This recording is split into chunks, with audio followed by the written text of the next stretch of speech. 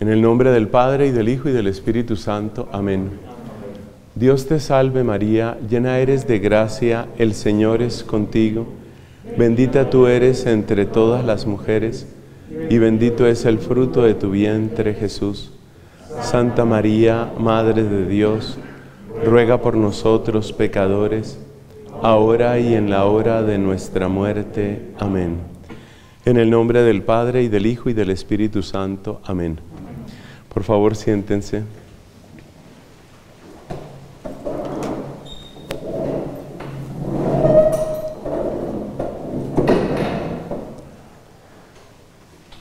Amigos, nuestro propósito en este retiro es muy sencillo. Gracias por, por la bondad de su presencia, de su oración, su fraternidad. Pero sí, es un, realmente es un retiro muy sencillo. Cuando recibí la invitación para servirles en este día, pues realmente me pusieron en un problema y le he pedido mucha luz al Señor. Finalmente, a lo que he llegado, y es lo que les voy a ofrecer, consiste en, en, este, en esta consigna, en esta consigna que es muy conocida por todos. Viva Cristo Rey. Esa consigna que por supuesto identifica en primer lugar al movimiento cristero, esa consigna es preciosa, pero necesitamos llenarla de contenido. Y para llenarla de contenido, vamos a hablar básicamente del reino de Dios. Entonces, nuestras dos charlas del día de hoy son sobre eso. ¿Qué quiere decir eso de que Dios reine? para tener claridad sobre qué significa viva Cristo Rey. Ese es nuestro propósito el día de hoy. El reino de Dios, uno de los puntos centrales de la predicación de nuestro Señor Jesucristo. El reino de Dios, un ideal profundo en el corazón de los discípulos. El reino de Dios, un ideal que atraviesa lo social, lo político, lo económico, lo familiar. No es tan fácil, no es tan fácil acercarse a esa expresión. ¿Qué significa el reino de Dios? La expresión reino de Dios se ha utilizado para todo. Se ha utilizado para movimientos de derecha y de izquierda Así, por ejemplo, la teología de la liberación, claramente con una orientación de izquierda, habla muchísimo del reino de Dios, especialmente desde un reclamo de justicia hacia los más pobres. Pero también la expresión del reino de Dios y el grito Cristo Rey también han sido asociados a veces con expresiones de tradicionalismo, expresiones típicamente de derecha. A nosotros no nos interesa aquí ni defender ni atacar, ni a la derecha ni a la izquierda, no es ese nuestro propósito. Queremos simplemente, en este retiro, queremos acercarnos a la persona de Cristo, a la enseñanza de Cristo. Podría decirse, mis hermanos y amigos, que en este retiro lo que queremos es preguntarle, preguntarle al Señor, preguntarle a Jesús, ¿tú qué querías decir? Cuando tú hablabas de reino de Dios, ¿tú qué querías decir? ¿Qué era lo que querías enseñarnos? Tantas parábolas, tantas comparaciones, tantas acciones de Cristo. ¿Tú qué querías decirnos? Esa es la pregunta que nosotros nos hacemos. Y yo quiero destacar en esa pregunta, quiero destacar la actitud que uno debe tener cuando habla con Cristo. O sea, realmente situémonos frente a nuestro Señor. Y si nos ponemos frente a Cristo, hagámonos esa pregunta, ¿cómo le hablaría yo a Cristo? Yo creo que uno le hablaría con muchísima humildad, con un corazón de discípulo, con un corazón deseoso de escuchar y de aprender.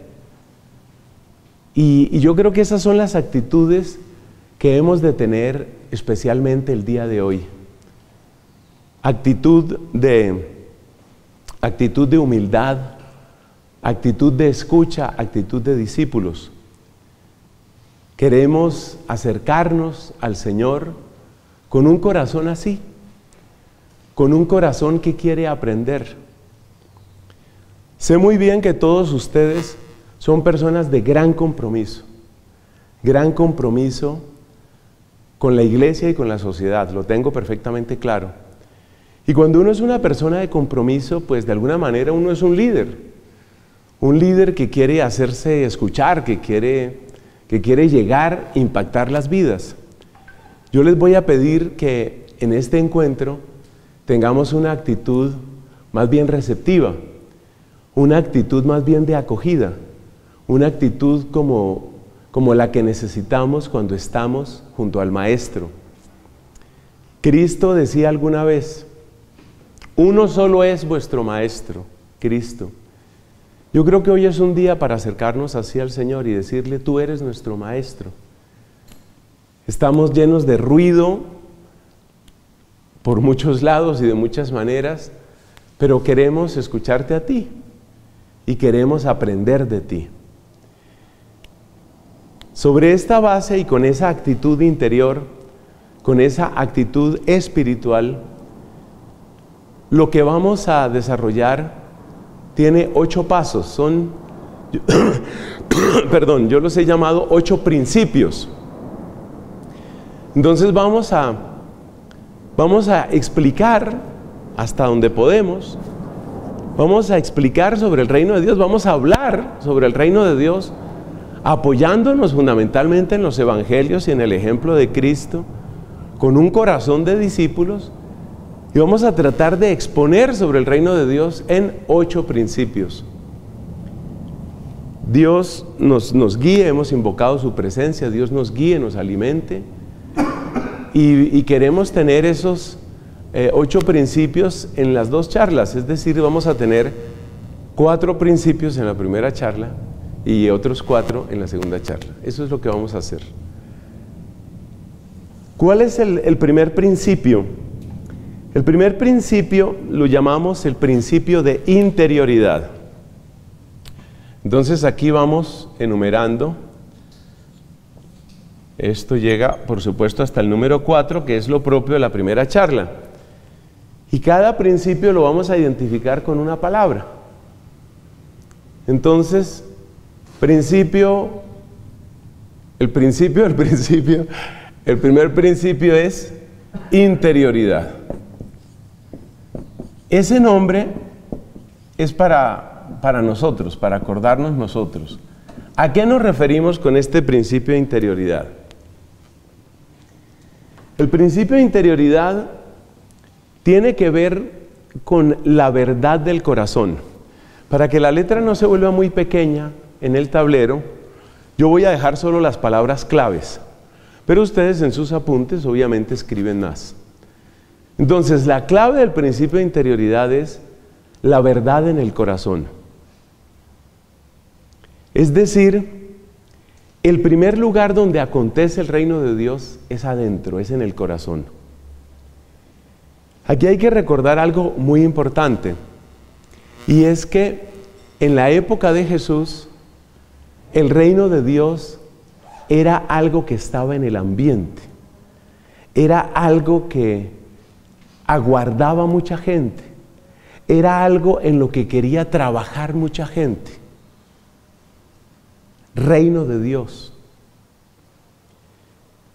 Y tenemos que hacer un par de aclaraciones bíblicas e históricas primero. Ellos hablaban del reino de Dios como una realidad que ya había sucedido en una época concreta. Es decir, para ellos el reino de Dios no era una especie de deseo, de imaginación. El reino de Dios era algo que ellos conocían. ¿Cuándo sucedió eso de que Dios reinara? Sucedió mil años antes de Cristo, en el tiempo de David. Es decir, ellos tenían un referente, un referente sobre qué significa reino de Dios, la época del rey David. Siempre que comento de esto, menciono el Salmo 147. Glorifica al Señor Jerusalén, alaba a tu Dios Sión. Él ha reforzado los cerrojos de tus puertas, ha puesto paz en tus fronteras, te sacia con flor de harina. Si usted quiere saber qué sentía un judío cuando se le hablaba del reino de Dios, es el Salmo 147.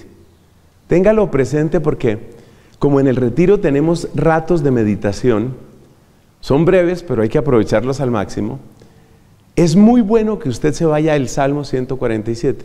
Glorifica al Señor Jerusalén, alaba a tu Dios Sion.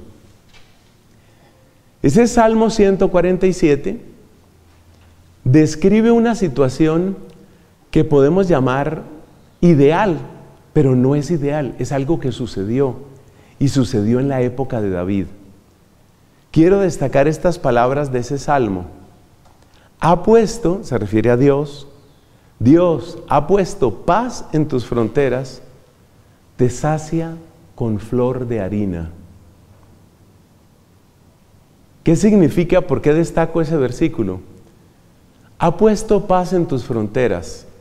El mal está a raya. Te sacia con flor de harina. El bien se vierte sobre ti.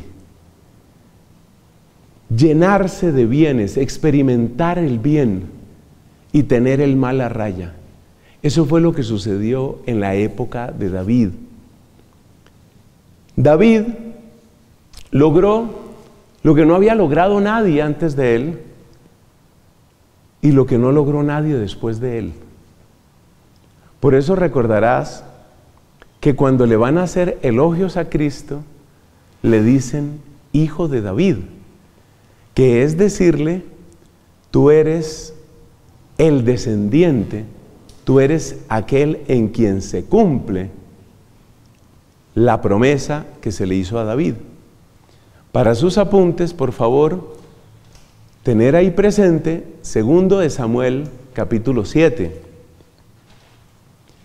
Segundo de Samuel capítulo 7 nos cuenta la promesa que Dios le hace a David a través de un profeta, el profeta Natán. Entonces, el reino de Dios, la imagen que, que aquellos hombres y mujeres tenían del reino de Dios, era lo que se vivió en aquel tiempo. El mal, acuérdese de esas dos imágenes, el mal a raya, ¿Quién era el mal o quiénes eran los malos en la época de David? Pues básicamente ese conjunto de pueblos paganos a los que se suele llamar los filisteos. David, con una combinación de fuerza, eso significa guerra, y diplomacia, logró contener completamente a los filisteos, frenados. Ha puesto paz en tus fronteras. Pero además, el pueblo experimenta la bondad de Dios, la bendición de Dios, expresada, como tantas imágenes de la Biblia, a través de la comida. Te sacia con flor de harina. La flor de harina con miel sigue siendo hasta el día de hoy una de las comidas preferidas, uno de los postres predilectos en toda esa región del Medio Oriente. Eh, lo que nosotros llamaríamos hojaldres. Les encanta, les fascina. Entonces, es experimentar la dulzura del amor de Dios y es experimentar que el mal está a raya. Antes de volver a esta palabra, que la hemos dejado ahí como quietecita, antes de volver a esa palabra, yo quiero que conectemos con la experiencia judía. Piense usted su propio anhelo de reinado de Dios y seguramente usted se identifica con lo que ellos sentían. ¿Qué es lo que usted quiere? ¿Qué es lo que usted quiere como, como un hombre de bien? ¿Qué es lo que usted quiere? Poner el mal a raya. Poner el mal a raya. Es que se nos mete por todas partes. Entonces están los medios de comunicación, está la educación, la literatura, el arte, el cine, la ciencia, como que nos atacan por todas partes. Entonces, seamos sinceros, también nosotros seguramente lo que queremos es el mal a raya, detener el mal, ha puesto paz en tus fronteras. Y luego, experimentar la dulzura, experimentar la bendición, experimentar el amor de Dios. Usted piense, usted cómo quiere vivir.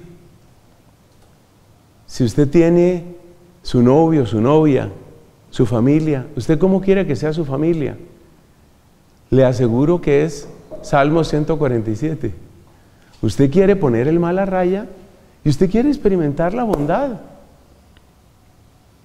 Bueno, esta parte entonces es importante no solo como introducción a este primer punto, sino como introducción a todo lo que vamos a decir del reino de Dios.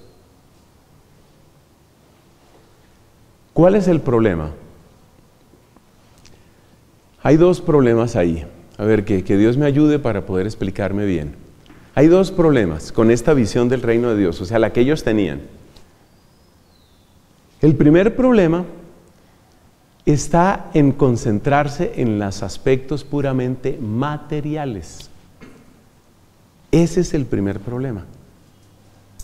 Si usted mira en el libro del Deuteronomio, usted se encuentra con que se habla de las bendiciones que Dios va a traer sobre su pueblo. Si el pueblo es fiel. Y en esas bendiciones siempre aparecen cosas materiales. Tus ganados van a ser abundantes, tus cosechas van a ser magníficas, vas a ser cabeza, no vas a ser cola, los demás te pedirán a ti, te pedirán que tú prestes, no tendrás que pedir prestado. El libro del Deuteronomio describe las bendiciones de Dios en términos muy, muy materiales muy terrenales. Entonces, un problema con esta imagen del reino de Dios es quedarse con lo material, quedarse únicamente con lo terrenal. Eso sigue hasta nuestros días. ¿Cómo se llama eso en nuestros días? Se llama Evangelio de la Prosperidad. Es la predicación típica de mucho grupo protestante. Yo me convertí al Señor y todos mis negocios empezaron a prosperar. Yo llegué al Señor y el Señor me eliminó todos mis problemas, me mejoró la vida. Y al describirlo, muchas veces se utiliza un lenguaje puramente material, puramente terrenal. Ese es un problema. El segundo problema relacionado con este es que entonces se mira la alianza con Dios como una especie de contrato. Es decir, si yo hago mi parte, Dios hará su parte. ¿Quiénes miraban la alianza como un contrato? Los fariseos fundamentalmente, guiados por la instrucción de los escribas que eran los expertos en la interpretación de la ley. Entonces, ahí tenemos ese problema. Que el reino de Dios, a la altura de la época de Cristo, se veía con nostalgia de la época de David. Se veía en una clave muy material, muy terrenal, demasiado, y se miraba como algo se miraba como algo que es como una especie de contrato, como un contrato. ¿Cuál es el peligro del contrato? El peligro del contrato está en que uno empieza a creer que si uno hace ciertas cosas, Dios queda, entre comillas, obligado a hacer otras cosas, porque ese es un contrato. Como cuando usted contrata un servicio de plomería, por ejemplo, en su casa. Usted paga y le tienen que hacer el trabajo por el que usted pagó. Entonces los fariseos tenían una visión de contrato cuando se trataba de la alianza y una visión materialista, una visión externa, porque el que habla de una visión terrenal, de una visión material, habla de algo externo. Y ahí llegamos por fin a esta palabra. Cristo dice, no, es que no es únicamente que tú pagues el diezmo del comino y de la ruda. No es únicamente que tú cuando llegaste del mercado te lavas ritualmente las manos para decir la impureza quedó afuera. No es únicamente que tú el sábado estés contando los pasos que das para no romper el sábado. No es únicamente eso. No es únicamente eso. Entonces, el primer elemento, todos son revolucionarios en cierto sentido, el primer elemento novedoso que trae Cristo es la interioridad. La pregunta de Cristo es, ¿qué está pasando dentro de ti? ¿Cómo eres tú cuando no te está viendo nadie? ¿Cómo eres tú cuando no tienes que convencer a nadie? ¿Cómo eres tú cuando no tienes que demostrarle nada a nadie? ¿Cuál es la verdad que hay en tu corazón? Así, por ejemplo, en el Sermón de la Montaña, encontramos que Cristo dice, cuando vayas a orar, no exhibas tu oración. Entra en tu habitación, ora. Y Cristo utiliza una expresión tres veces en el Sermón de la Montaña tu Padre que ve en lo escondido. A veces nos pasamos la vida tratando de demostrarle algo a las otras personas. Incluso eso sucede en el ámbito tan cercano, tan íntimo de la pareja, del matrimonio, del noviazgo. Estamos tratando de demostrar algo. ¿Cómo eres tú cuando no tienes que demostrar nada? ¿Cuál es la verdad que hay en tu corazón? ¿Cómo oras cuando a nadie le importa si oras? ¿Cuál es tu oración? ¿Cuál es tu verdadera relación con Dios?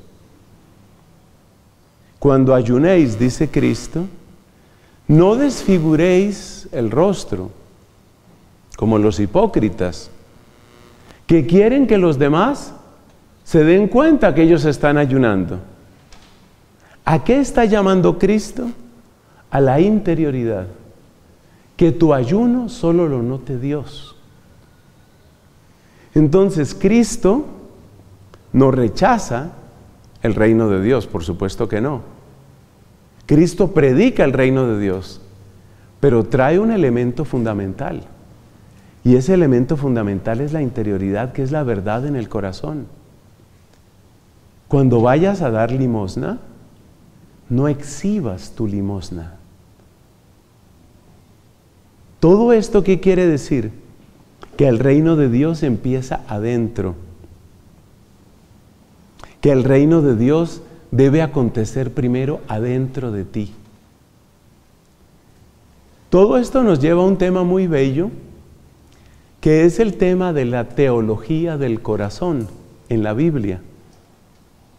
El corazón el recinto más íntimo de tu conciencia, el corazón, el centro mismo de tus decisiones y de tus opciones, el corazón. Es ahí donde Dios quiere reinar. Es ahí donde se juega todo, por eso lo ponemos como primer principio. Ahí se juega todo, en el corazón. De muchas maneras Cristo enfatiza este tema del corazón. No es completamente nuevo. Ya el profeta Samuel, cuando fue a elegir precisamente al rey David, recibió esta advertencia de parte de Dios. Ten cuidado, ten cuidado. El hombre mira las apariencias. Dios mira el corazón. O sea que es un tema que ya venía desde antes. También un profeta dice, circuncidad vuestros corazones, no vuestros prepucios, circuncidad vuestros corazones. Y otro texto de otro profeta dice, os daré un corazón nuevo y os infundiré un espíritu nuevo. O sea que lo del corazón ya venía de antes. Cristo lo enfatiza, lo radicaliza. Entonces, primer principio para entender qué es el reino de Dios, la interioridad. La interioridad. ¿Cómo estoy yo por dentro? Y esto explica muchas cosas. Esto explica por qué es necesaria la soledad. Porque es necesario el silencio, porque es necesario el desierto. Elementos que la tradición cristiana ha valorado siempre. Necesitamos soledad, necesitamos silencio, necesitamos desierto. ¿Por qué? Porque en esos tiempos de soledad, cuando no le tengo que demostrar nada a nadie, cuando, no tengo que convencer a otros, cuando no tengo que saldar cuentas con nadie, en esos momentos, en esa profunda soledad, donde solo está Dios y estoy yo, ahí aparece este tema. ¿Quién soy yo en realidad? Es algo muy profundo. Es una experiencia que puede resultar estremecedora para algunas personas, que puede resultar incómoda. Por eso hay personas que huyen de la soledad. Creo que muchos de nosotros lo hacemos. Huimos de la soledad, huimos del silencio, porque tenemos temor de llegar a esa interioridad, a ese recinto. Y por eso también muchas comunidades religiosas, especialmente monásticas, le dan una tremenda importancia al silencio y a la soledad. Pasemos a un segundo principio. La palabra que va a aparecer aquí es la palabra gratuidad. Es una palabra que tiene que ver con la palabra gracia. la gracia. Quizás esta palabra no sea tan frecuente en nuestro vocabulario. Vamos a tratar de explicarla. Por supuesto, apoyándonos en las enseñanzas de Cristo. Gracia. ¿Qué queremos decir con esa palabra? Tal vez la mejor manera de entenderlo es por contraste. Recordarán ustedes que dijimos hace unos minutos, los fariseos veían la alianza como un contrato. La palabra contrato nos hace ver lo que es una transacción. Un contrato es una transacción. ¿Transacción qué es? Transacción es yo doy algo y me dan algo. Eso es transacción. Típicamente doy dinero y me dan, qué sé yo, un libro, eh, una chaqueta, una casa, lo que sea. Una transacción. ¿Cuál es el problema de la lógica de la transacción? Es un tema que hemos comentado varias veces en distintos espacios. La transacción al principio a uno le parece una cosa normal y justa. Pues lo justo es que si yo pago, pues me den aquello por lo que yo pagué. Eso es lo justo. Esta idea está tan profundamente metida en el corazón humano que es prácticamente universal. En la tradición hinduista está esa palabrita que hoy gusta tanto, la palabra karma. Y más o menos la palabra karma significa algo como eso. Es decir, como usted sea, así le va a ir. Si usted hace las cosas mal, le va a ir mal. Si usted trata mal, lo van a tratar mal. Si usted hace el bien, el bien se revierte sobre usted. Eso suena lógico. Y repito, es un pensamiento bastante universal. Es un pensamiento que parece describir lo que es la justicia. Y muchos de nosotros, de los aquí presentes, amamos la justicia. Entonces, hay un momento en el que uno se detiene y dice, bueno, pero ¿cuál es el problema? O sea, lo normal es eso. No tan rápido. Cuando usted se siente fuerte, la lógica de la transacción le funciona de maravilla. Pero ¿qué pasa cuando usted está débil? ¿Qué pasa cuando usted padece carencias? ¿En qué queda la lógica de la transacción? Entonces vamos a examinarlo un poquito. Y aquí viene una historia que he contado muchas veces, por allá de mi época de juventud. Resulta que en alguno de los grupos en que yo participaba en la vida parroquial de aquel entonces, esto fue antes de entrar a la comunidad, había una chica, una joven, no una reina de belleza, pero, pero sí una muchacha agradable, simpática, como se suele decir con la belleza que tiene la juventud, lo cual pues no es la frase más amable del mundo, una chica agradable, como muchos jóvenes y muchas jóvenes de todos los tiempos, con una vida social pues activa, vida social que se expresaba ya en esa época en términos de reuniones, paseos, fiestas, invitaciones, cafés, tertulias, también cosas de iglesia. Una muchacha bien. Yo no recuerdo en este momento si fue un accidente o una enfermedad que ella tuvo. Resulta que esta chica tuvo un problema, yo recuerdo que era un problema muy grave en una pierna. Y recuerdo que era algo que requería unas intervenciones quirúrgicas violentas. O sea, eso era terrible. Y por supuesto los posoperatorios, y pongo plural porque fueron varias intervenciones, eran larguísimos.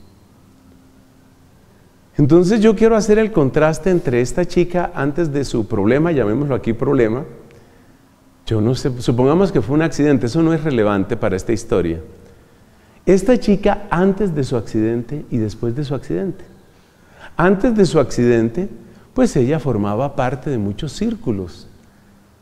Pues era ese tipo de muchacha que la invitan, mira, ¿qué vas a hacer este fin de semana? No, pues sin programa, no, vamos a tal parte. Normal, sea sano. No te estoy hablando de una persona perversa, ¿no? Una chica sana alegre, bonita, normal. Te cuento que vamos a celebrarle el cumpleaños a Javier. Listos, ¿cuál es el plan? Nos encontramos a tal hora en tal parte. Allá llego. La vida vivida con, con amor, con intensidad, con alegría, como tantos jóvenes. Pero resulta que esta muchacha tuvo su accidente. Cuando esta chica tiene su accidente, pues ya les dije, ella queda postrada. Yo la visité un par de veces, dos o tres veces. Mi vida social tengo que reconocer que era muy pequeña en aquella época. Nunca ha sido demasiado intensa. Pero entonces yo vi la evolución de ella. Resulta que ella ya no podía participar de los planes típicos. Entonces, vamos a ponerle aquí un nombre, que obviamente no es el nombre de ella. Vamos a llamarla Adriana, por ejemplo. Entonces resulta que Adriana ya no era mujer de invitar a un paseo, porque pues ella estaba en su problema y cuando no estaba en operación estaba en posoperatorio, cuando no estaba en posoperatorio estaba con muletas. Entonces para llevar a Adrianita al paseo, no. O sea, la de las muletas para el paseo no. La de las muletas para la fiesta no. En resumen, se fue apagando y apagando la vida social de ella. Ya no era bonito invitarla. Ya no era agradable invitarla. ¿Qué es la transacción? La transacción es que yo doy y recibo en la misma proporción. Pero ¿qué pasa si yo he tenido un accidente y ya no puedo dar? Claro que alguien diría, bueno, pero ¿qué era lo que ella daba? Pues ella daba su simpatía, su cariño, su alegría, su sonrisa, su belleza. Ya no podía darlo. ¿Qué pasa cuando yo no puedo dar? ¿Qué pasa si yo tengo una enfermedad incurable y ya no puedo dar? ¿Qué pasa si yo tengo un accidente cerebrovascular? Mi cara queda torcida, no puedo hablar bien. Ya no es agradable hablar conmigo. ¿Qué pasa conmigo? Esto se resume en una palabra que a Cristo le interesaba mucho. Es una palabra que yo amo en su original griego y es la palabra tojos, que se escribe con pi, tau, pt, tojos. Tojos es pobre. Resulta que la palabra tojos Viene de una raíz griega que significa el que ha sido doblegado. No es solamente el que no tiene dinero, que también, es el que ha sido doblegado. ¿Qué pasa con el pobre? ¿Qué pasa con el tojos? El tojos es el que no puede dar lo mismo. El tojos es el abuelo que ya tiene muchos años, que no es agradable, que no se asea bien, que repite las mismas historias, que es complicado para llevar a cualquier parte. Ese es el tojos. El tojos es el discapacitado que no es agradable para la reunión porque no entiende nada y siempre se ríe con una risa que nunca viene a cuento. El tojos es aquel que ha fracasado en su vida de pareja y es una persona amargada. Y no es bonito tener una tarde con ese hombre o con esa mujer. Entonces resulta que Cristo tiene una gran preocupación por los tojoi, ese es el plural, los tojoi. Él tiene una gran preocupación por ellos. Parece que Cristo tuviera siempre esa preocupación. ¿Qué pasa con los que no? Con los que no son amables, con los que no son simpáticos, con los que no son exitosos, con los que están enfermos, con los que están trabados emocionalmente, con los que se sienten fracasados o desubicados. ¿Qué pasa con ellos? Apliquémosle la lógica de la transacción a esas personas. Es muy aburrido hablar con este hombre.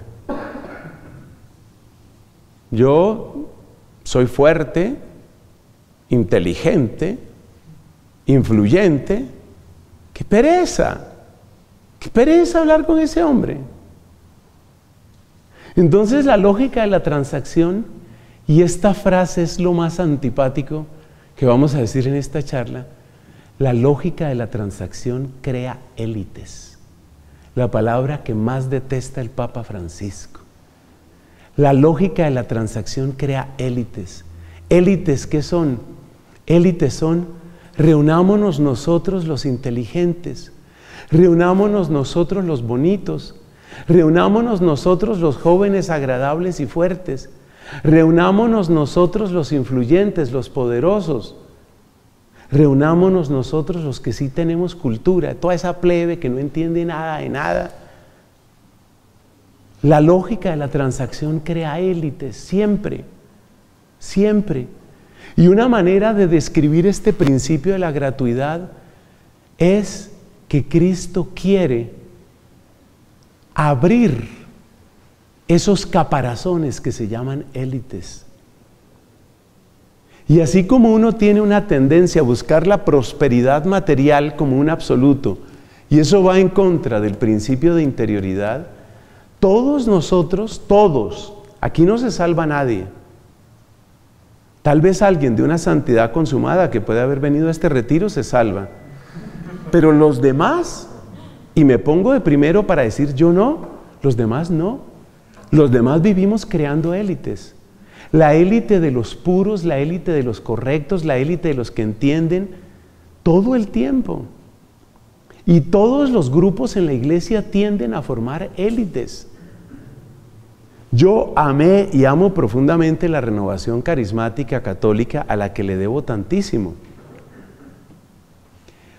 Cualquiera diría, es un movimiento muy abierto, y sí lo es en muchísimas partes, pero yo conocí conatos de elitismo en la renovación carismática católica. Yo conocí un sacerdote que decía, que hablaba de nosotros los que sí conocemos la experiencia del Espíritu. Es decir, ya nosotros somos cuasi dueños del Espíritu Santo. Nosotros los que sí tenemos la liturgia correcta. Entonces hay movimientos tradicionalistas. Yo amo el latín, soy profesor de latín, o he sido pues profesor de latín. Si algunos de ustedes han visto los programas que hago de exégesis, siempre estoy mencionando la traducción latina. Me apoyo, por supuesto, en el griego, pero siempre menciono la traducción latina. Pero ¿cuál es el problema del tradicionalismo que va empezando a formar élite? Nosotros los de la liturgia correcta, los demás quién sabe qué están celebrando, pero nosotros somos los que sí. Y siempre se busca una bandera. ¿Y la bandera cuál es? La bandera es nosotros los que sí tenemos el compromiso por los pobres. O la bandera es nosotros los que sí entendemos latín. O la bandera es nosotros los que sí conocemos el espíritu.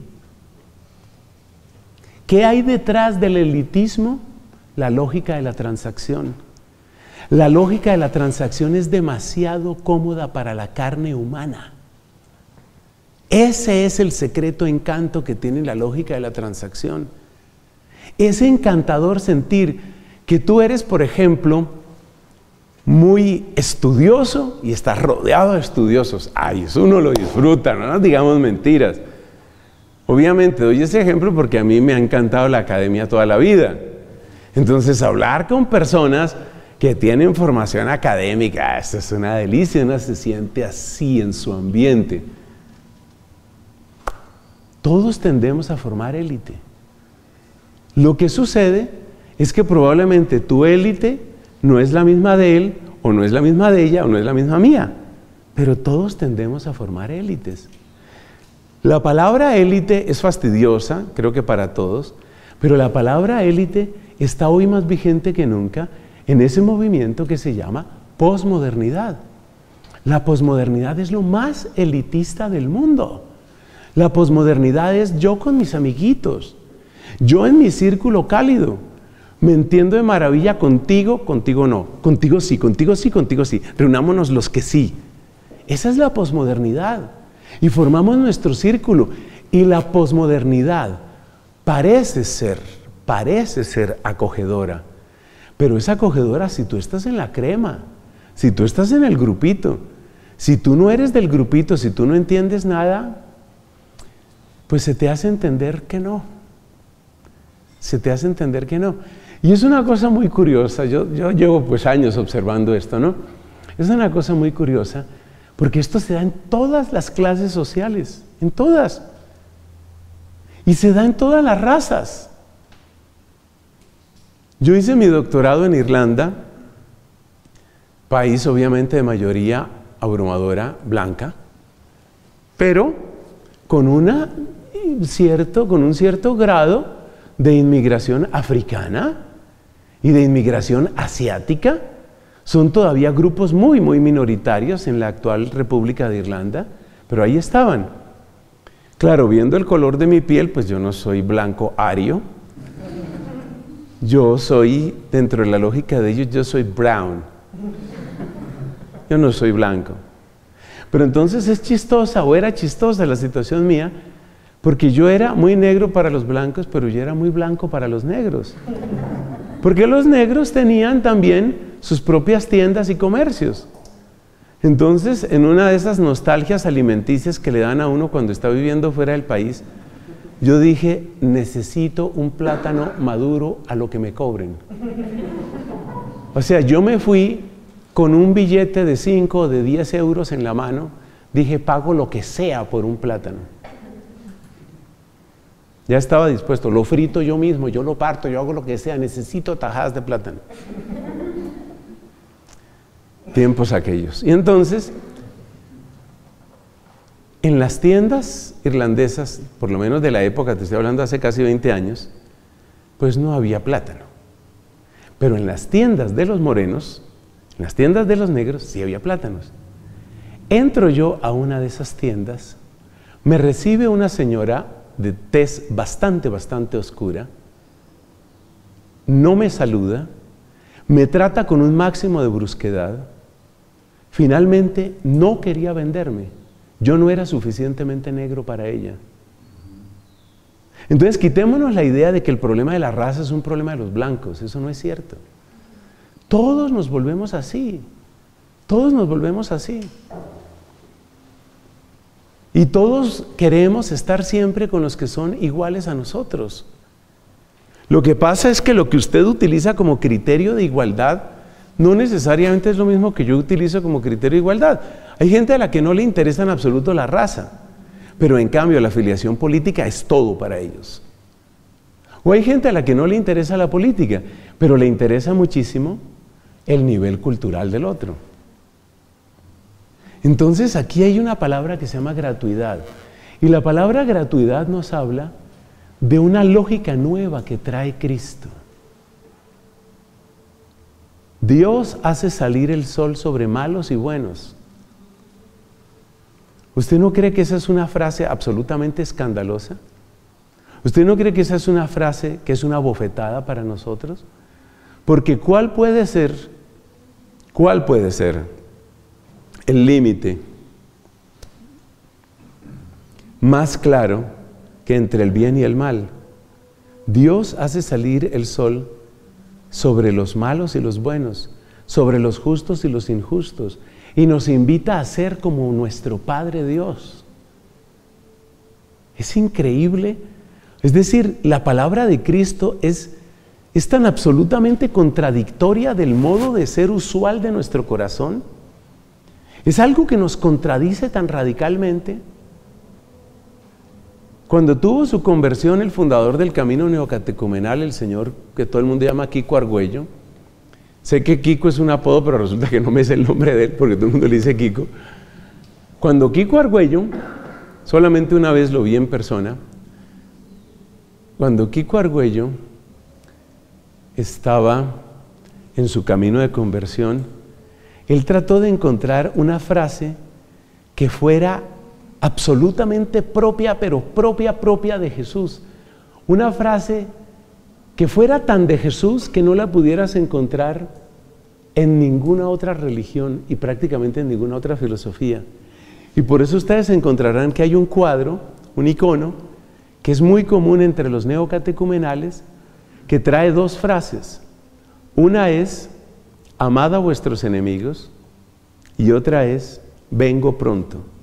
Son las dos frases que en el pensamiento de Kiko Argüello sintetizan, sintetizan lo exclusivo, por decirlo así, de la fe cristiana, lo más propio de la fe cristiana.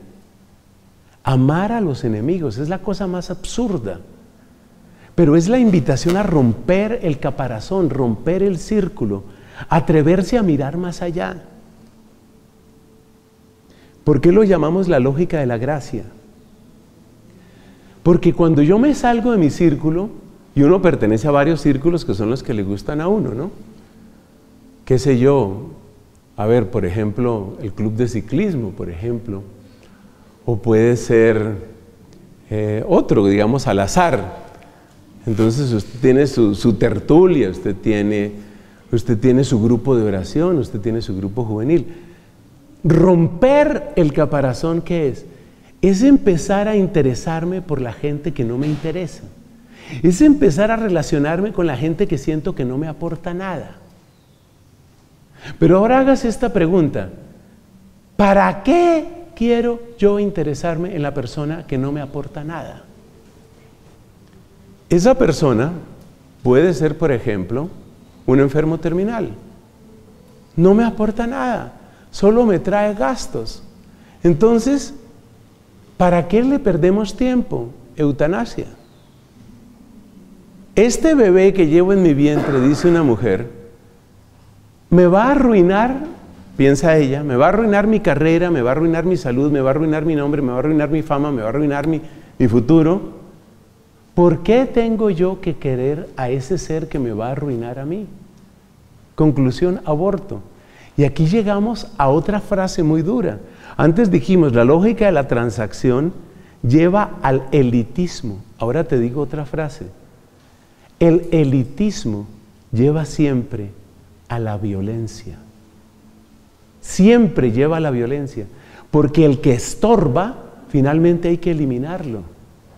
Entonces, como estorba ese bebé que nada le aporta a mi vida porque me va a dañar mi futuro, como estorba ese bebé, lo eliminamos. Aborto legal y gratuito. La lógica de la transacción, que al principio te acuerdas que nos parecía la cosa más justa del mundo, la lógica de la transacción conduce al elitismo y el elitismo conduce a la agresión, a la violencia. Y uno se asombra de ver cómo en países, entre comillas, cultos y entre comillas, desarrollados, les parece la cosa más natural del mundo el suicidio asistido, la eutanasia, el aborto, les parece lo más natural del mundo. No hay ningún problema, ningún problema, porque están en la lógica de la transacción. Ese bebé no sirve para mi vida. Sale el bebé, se acaba el problema. Y mi vida sigue. Life goes on. Ya está, se acabó. ¿Cuál es el problema? ¿Por qué quieres que tenga remordimiento? ¿Por qué quieres? Mi vida sigue. ¿Qué hace que yo me interese por un bebé que entre comillas o supuestamente no me aporta nada? ¿Qué hace que yo me interese por un discapacitado que ni siquiera puede sostener una conversación conmigo? ¿Qué hace que yo me interese por un enfermo terminal que ni siquiera sabe que yo lo visito todos los días. ¿Qué hace? Ahí es donde entra esta palabra, la palabra gracia. Ahí entra la palabra gracia. La palabra gracia, varios lo han definido con esta frase que es muy fácil de entender. Te amo y te amo porque sí. La gracia es esa, te amo porque sí. Quiero contarles una cosa para aclarar un malentendido. En los noviazgos y en los matrimonios no se empieza por la lógica de la gratuidad. ¿Cómo así? No se empieza por la lógica de la gratuidad. Tú no me vengas a decir que tú amas a tu novia con lógica de la gratuidad. Te amo porque sí. No es cierto, no mienta, no sea descarado, lárguese de aquí. Nadie empieza por la lógica de la gratuidad en un noviazgo, mucho menos en un matrimonio. De hecho, el sacramento del matrimonio, este es un misterio que les voy aquí a revelar. El sacramento del matrimonio es un invento de Dios para llevar al corazón de la lógica de la transacción a la lógica de la gratuidad. Es decir, en el matrimonio se llega a la lógica de la gratuidad, se llega, pero no se empieza por ahí. Y ustedes, por favor, no empiecen sus noviazgos con la lógica de la gratuidad porque no funciona. El noviazgo tiene que empezar por la lógica de la transacción, así lo dispuso Dios. Exactamente así. ¿Qué significa que tiene que empezar así? Pues que tiene que haber una serie de pactos. Y los pactos son, tú eres fiel y yo soy fiel. Estamos en eso, ¿no? Clarísimo. Lógica, la transacción es, tú me gustas y yo te gusto. No, perdona, hay un malentendido, tú no me gustas. Entonces no hay, así no funciona. Pasan los años. ¿Para qué hizo Dios el sacramento del matrimonio? Para que se pasara de la lógica de la transacción a la lógica de la gratuidad. Porque evidentemente las personas con los años y los años y los años y las enfermedades, pues vamos destruyendo los argumentos por los que nos querían. Entonces, al final de los años a uno, ¿por qué lo quieren? Pues porque sí. Pero eso será al final. Por ahora no se fíe de eso. No se fíe de eso. Por eso uno como sacerdote uno siempre les recomienda, cultiven el amor, cultiven los detalles. Mujeres, sean agradables y bonitas. Hombres, sean galantes, románticos y, y estén ahí siempre para ellas. Hay que cuidar la lógica de la transacción. Pero hay que saber que al final se llegará a la lógica de la gratuidad. Y eso lo sé yo porque hace 12 años se murió mi mamá. Mi mamá murió cuando ellos tenían 49 años y medio de matrimonio. El estado final de mi mamá fue absolutamente lamentable, ya lo puedo decir sin llorar. A ella tuvieron que hacerle una operación para sacarle un tumor. La operación no fue un éxito. Ella permaneció inconsciente. El cuerpo humano adopta espontáneamente la posición fetal. Entonces ella no tenía cabello porque la habían rapado para hacerle la operación estaba en posición fetal, estaba pues con oxígeno o con lo que tuvieran que ponerle. Ese, ese, es el último rostro que yo tengo de mi mamá. Pero había un hombre que estaba al lado de ella que estaba inconsciente y estaba al lado de ella todas las horas que podía estar y ese hombre era el esposo. Eso se llama lógica de la gratuidad. Ese es el te amo porque sí. Allá se llega, pero por ahí no se empieza. Entonces, Cristo trae esto que se llama la lógica de la gratuidad. Cristo trae esa gracia, pero no como una imposición moral, sino en primer lugar como una oferta de Dios. Porque lo primero que viene Cristo a decirnos es, es que Dios te ama porque sí. Es que Dios te ama porque Él es así. Y eso es absolutamente maravilloso y esa es la mejor noticia del mundo. Como dice la primera carta de Juan, en esto consiste el amor, no en que nosotros hayamos amado a Dios, sino en que Él nos amó primero. Entonces, Cristo trae la lógica de la gratuidad en primer lugar mostrando un amor de Dios así, así. Y a medida que nos va inundando con ese amor, nos va haciendo capaces de entrar en la lógica de la gratuidad. Y eso es reino de Dios. Tercero, estoy viendo grave el tema del tiempo. Tercero, un principio de libertad. Un principio de libertad. ¿De qué libertad estamos hablando aquí? Por supuesto, no es de la libertad de la que hoy se habla en el mundo. ¿Cuál es la libertad de la que hoy se habla en el mundo? La libertad de la que hoy se habla en el mundo es yo hago lo que se me dé la gana. Esa es la libertad de la que se habla en el mundo. Y como hemos explicado varias veces, la libertad que consiste en yo hago lo que se me dé la gana es esclavitud. Porque el que te sepa manejar las ganas te maneja. Y resulta que hay toda una ciencia, ¿cierto? Que tiene distintos nombres, por ejemplo, se llama marketing, que consiste en aprender a manejarle las ganas a la gente. Ya está.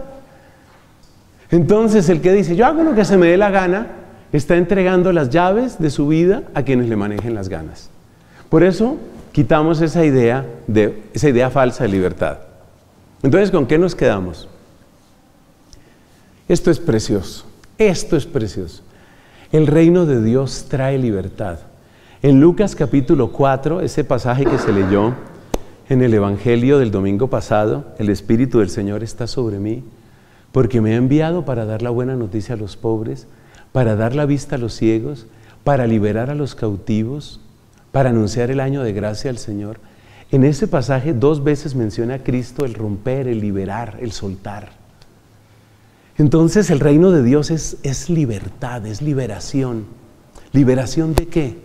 Liberación del poder de Satanás, que es real, no es un invento, no es una fantasía. Liberación del poder del diablo.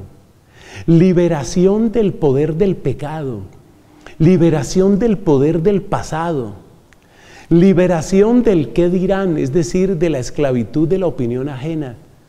El reino de Dios trae unas dimensiones de libertad absolutamente fantásticas. De lo que causa ¿Cómo llamaríamos esto? Escalofrío al acercarse a Jesucristo. De lo que causa escalofrío es sentir a alguien tan libre, tan libre.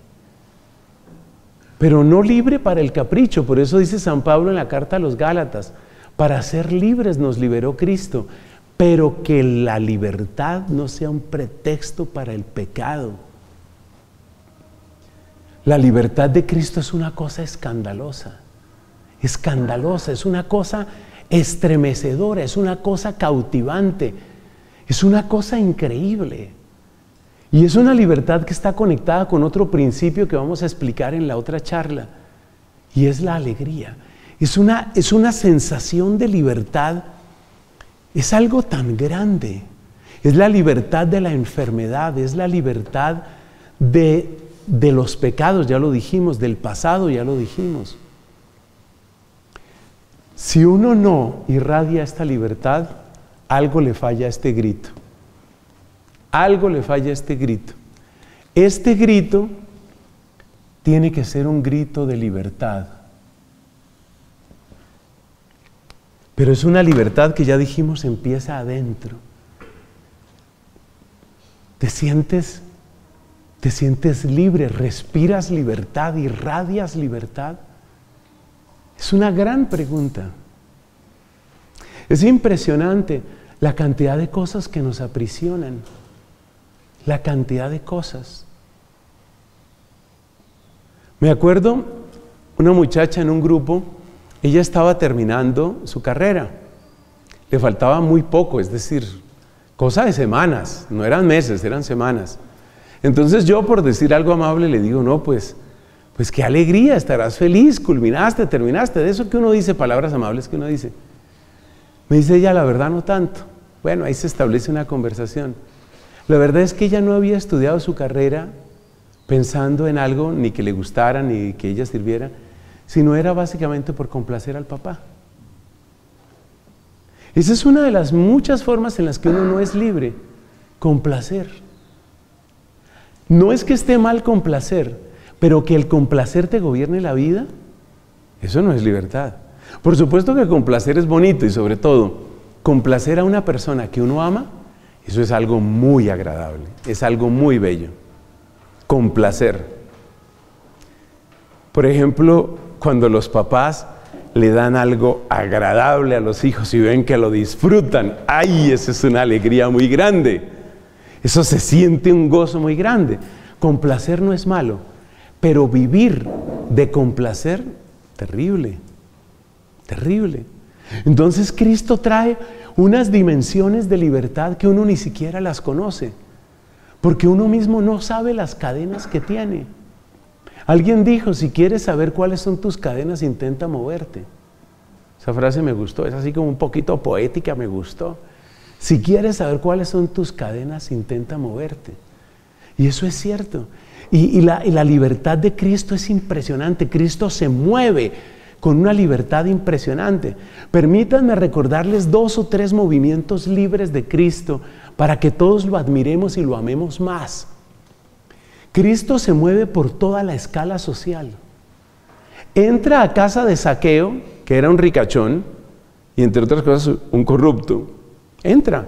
Y la gente se extrañaba. Como que Cristo dijera, problema de ellos. Yo voy aquí. Pero Cristo no es caprichoso, estaba buscando un alma, estaba buscando la salvación de alguien. Cristo va donde los ricos, Cristo está con los pobres. Esa es pura libertad de Cristo, Él se mueve en toda la escala. Para Cristo no hay el problema de que nuestra raza, nuestro pueblo es el pueblo elegido y es el único pueblo. Ese no es Cristo. Ese no es Cristo. Solo una vez Cristo elogió la fe de una persona y la fe que elogió fue la fe de un romano, la fe de un pagano. Oiga, y se voltea y les dice, les cuento que en Israel no he encontrado tanta fe. Y antes de que parpadearan, siguió caminando. Es impresionante Jesucristo. Él se mueve. Él eso está unido a la lógica de la gratuidad. Él se mueve por todas partes. De lo más fascinante de Cristo es su relación con la mujer. Es increíble. Increíble el pasaje que uno recuerda inmediatamente es el de aquella pecadora que llora y le besa los pies es el signo más escandaloso que podía darse en esa sociedad. Los pies tienen un significado profundamente erótico en ese ambiente. Que una mujer bese los pies es la cosa, mejor dicho, me perdonan esta palabra, pero es para que nos entendamos. Para la sociedad de aquel tiempo eso raya en lo pornográfico. ¿Y Cristo qué hace? No solo lo permite, sino que la pone a ella de ejemplo. Cristo se mueve con una libertad infinita. A Cristo no lo para nadie, no lo para el miedo, no lo paran los prejuicios, no lo paran las amenazas. Una vez llegaron unos fariseos y le dijeron, oye, como se dice en Colombia y creo que en otros sitios, pilas, pilas hermano, Herodes te está buscando para matarte. ¿Usted cree que eso frenó a Cristo? ¿No? Respuesta de Cristo, vayan y díganle a ese zorro. Mire el respeto que le tenía Herodes. Vayan y díganle a ese zorro, hoy y mañana trabajo, pasado mañana llego a mi final. No es cuando tú digas, Herodes, ¿ok? Ese es Cristo. Otro ejemplo de libertad, el último.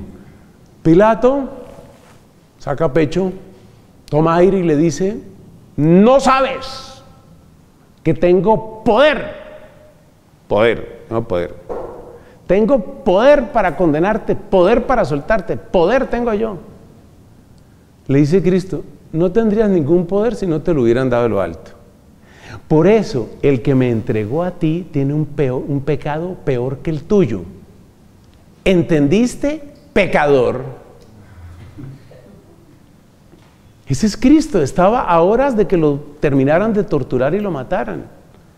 O sea, la libertad de Cristo es de los aspectos más fascinantes. Todos los mártires se han inspirado en la libertad de Cristo, todos. Porque el que no cree en la libertad de Cristo no cree en el martirio, no se puede. Inmediatamente te acorrala el miedo, inmediatamente.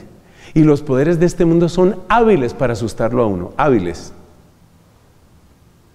Entonces el reino de Dios trae una libertad impresionante.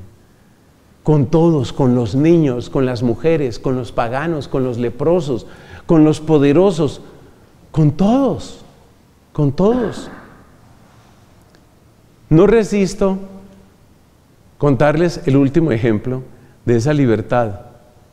Los saduceos, los sumos sacerdotes, gente seria, la gente que controla el culto, templo de Jerusalén, la institución, por favor, L mayúscula, A mayúscula, negrita, la institución por excelencia, el templo. Llegaron allá un grupo de saduceos a hacerlo quedar en ridículo con un ejemplo que ustedes recuerdan, el de aquella mujer que estuvo casada sucesivamente con siete hermanos. Respuesta de Cristo. Ustedes no conocen el poder de Dios. Se lo está diciendo a los sumos sacerdotes. Ustedes no conocen el poder de Dios. Antes de que parpadearan, les añade, ni conocen las escrituras. Oiga, si eso no es ser libre, yo no sé qué es ser libre. Pero donde la sacó del estadio, como se dice en Colombia, donde la sacó del estadio Cristo, fue que, bueno, lo mataron. Lo metieron al sepulcro. Pusieron una piedra pesada. Se salió. Y ahora párenme, párenme, párenme ahora. Ahora resucitado, ¿qué van a hacer? Ese es Cristo. Y el reino de Dios tiene que destilar esta libertad. Una libertad que no es irrespeto. Una libertad que no es capricho. Una libertad que no es esclavitud ni del placer, ni del pecado, ni del prejuicio. Pero es pura libertad. Yo les confieso que en todos estos aspectos, pues tanto me hace falta, pero yo le pido mucho a Dios esto. Dios ha hecho grandes cosas en mi vida por su piedad de esto. Porque, porque es que ser sacerdote no es fácil, les cuento. Ser sacerdote es difícil. Todo el tiempo la gente te está juzgando, todo el tiempo. Si haces, si no haces, si saludas, si no saludas. Como dice por ahí un escrito que ha circulado bastante. Si saludas solo a los hombres, mmm, peligroso ese señor. Si es cariñoso con las mujeres, más peligroso. Todo es peligroso con el sacerdote. No es fácil ser sacerdote. Pero Dios el Señor es tan grande que a muchos sacerdotes, y yo creo que poco a poco también a mí, nos ha ido dando una cierta libertad. Yo les puedo decir, se siente muy bien. Muy bien. Aprender a tener libertad es una cosa maravillosa, maravillosa. Libertad. Es impresionante. A mí me han ayudado las redes sociales para el tema de la libertad porque es donde la gente se pone más violenta. Hubo una época, esa época ha disminuido mucho y es de agradecer, hubo una época en que es que hubo días enteros en que todos los días, sobre todo en los comentarios en, el canal de YouTube, todos los días eran gente maldiciéndome. Eso no se siente bonito. Todos los días gente maldiciéndolo a uno. Y luego yo sé que estamos divididos en el tema de vacunas.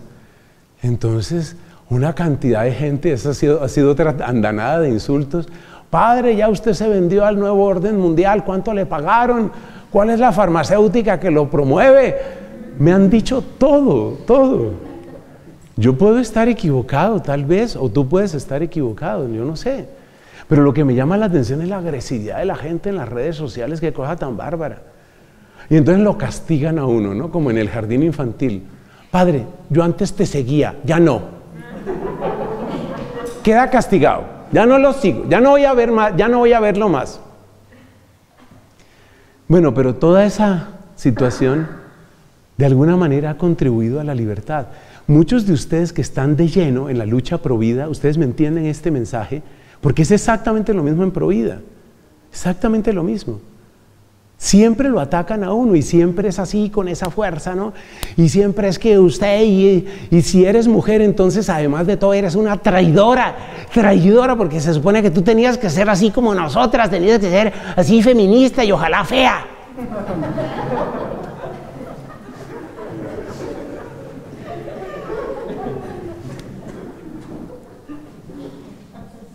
Confianza.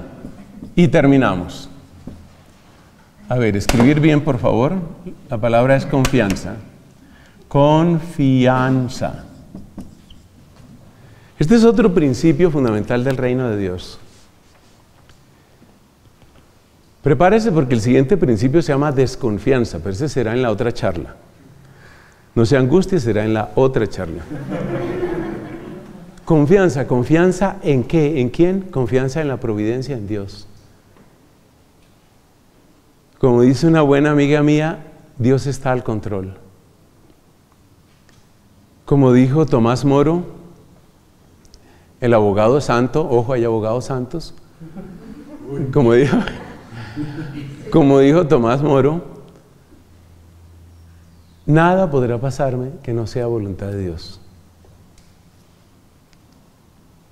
Esa certeza en la providencia, fíjate cómo se unen todos estos principios La certeza en la providencia es la que fundamenta la libertad. ¿Y qué tal esa frase que dice San Pablo?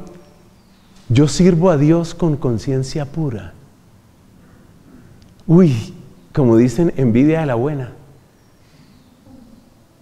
Bueno, ¿y cómo se traduce envidia de la buena que no tenga la palabra envidia? Se llama admiración y deseo de emulación. Esa es la definición técnica de envidia de la buena. ¿Qué es envidia de la buena? Es admiración y deseo de emulación. Entonces yo siento admiración y deseo de emulación, o sea, envidia de la buena, con San Pablo, cuando dice, sirvo a Dios con conciencia pura. Eso es lo que le permite a San Pablo llegar a ese día en que tuvo que poner su cabeza sobre una piedra para ser decapitado. Sirvo a Dios con conciencia pura. Esta confianza es maravillosa. Miren los campos, dice Cristo, miren los campos. Díganme cuándo Salomón se vistió así. Yo sé que ustedes viven en un mundo difícil. Muchos de ustedes están de lleno en combates duros. Yo les pido dos favores. No pierdan el corazón de niños y no pierdan la poesía. No lo pierdan.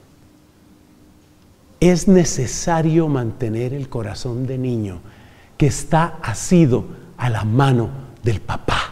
Es necesario el corazón de niño. Del mundo no esperes gran cosa. Ese es el quinto principio que lo veremos después. Del mundo no esperes gran cosa. Pero de tu papá, de tu Padre Dios, espéralo todo, todo, todo, todo. Y cuando digo todo, digo espera milagros. Espera milagros. Yo he visto un problema en la Iglesia Católica durante los últimos 100 años. Y es que los grupos laicales se han dividido, no con oposición así agresiva, pero se han dividido como en dos grandes corrientes. Los unos son los de tendencia extraordinaria, que enfatizan todos los aspectos sobrenaturales, le mensajes, apariciones, eh, visiones, milagros, carismas, la línea extraordinaria y los otros, los de la línea ordinaria, es decir, los picapedreros. Esto toca darle, darle duro, darle duro, darle duro. Resulta que la iglesia necesita las dos cosas. Necesita que nosotros seamos picapedreros que creemos en milagros. Ese es el buen balance, sobre todo para el laico. En los sacerdotes pasa lo mismo, tranquilos. Hay una cantidad de sacerdotes incrédulos con todo lo sobrenatural. Eso me da mucha tristeza. Yo no sé cómo celebran misa. Hay muchos sacerdotes incrédulos con todo lo sobrenatural. Pero también hay otros sacerdotes que entonces se vuelven súper aficionados a todo el tema. Entonces todo tiene que ser con milagro extraordinario, imposición de manos. Hay que saber mezclar las dos cosas, porque Dios no está amarrado ni a lo ordinario ni a lo extraordinario. Entonces nosotros somos picapedreros que creemos en milagros. Eso somos nosotros. Hay que hacer la tarea, hay que plantear el debate, hay que entrar en la batalla, hay que dar la discusión. Hay que escribir el libro, hay que hacer la película, hay que financiar el proyecto. Sí, todo eso es ser picapedrero. Pero hay que creer en la conversión de los corazones, hay que creer en los milagros, hay que creer que Dios que hizo lo que hizo en San Pablo, igual lo puede hacer en nosotros. Gloria al Padre, al Hijo y al Espíritu Santo.